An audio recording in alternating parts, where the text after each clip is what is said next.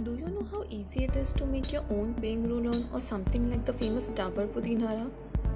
All you need are four ingredients: Bhimseni Kapur, Pudina extracts, Ajwain extract, also known as thymol, and Loban, also known as benzoin. Now all you got to do is mix all the four ingredients together in a mortar vessel. Here we have put the 20 gram Bhimseni Kapur in the mortar pestle. Now crush it well so that you get a fine powder out of it.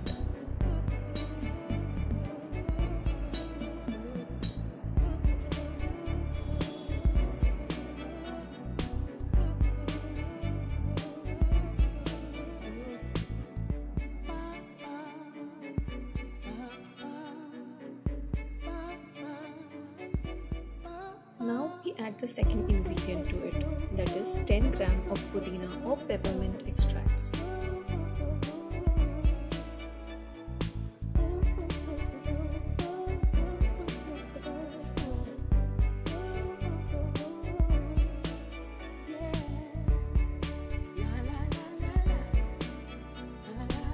The third ingredient, ajwain extract or thymol, is added to it and again the mixture is grinded well to a fine powder like consistency.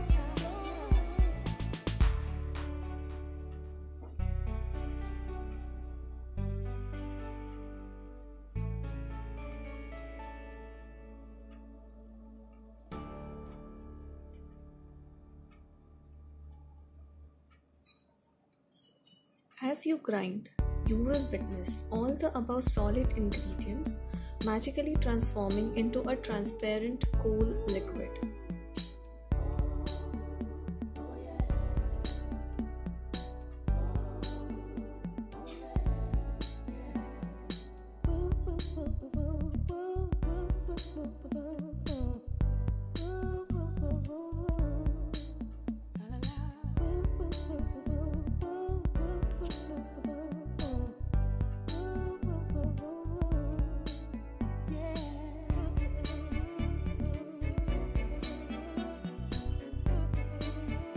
It is an endothermic reaction. Hence, you will find the mortar pestle or the vessel in which you're doing it turn cooler and cooler as you grind it more. This formula is mentioned in the classical Ayurvedic text of Rasatantra Sar in Siddha Yog Sangraha as Karpurdhara Arka or Jivan Rasaya. After adding Loban and grinding it well, we transfer it to a container. This mixture is used in diarrhea along with sugar.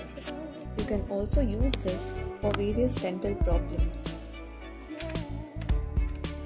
You can also use this along with sesame oil for skin issues.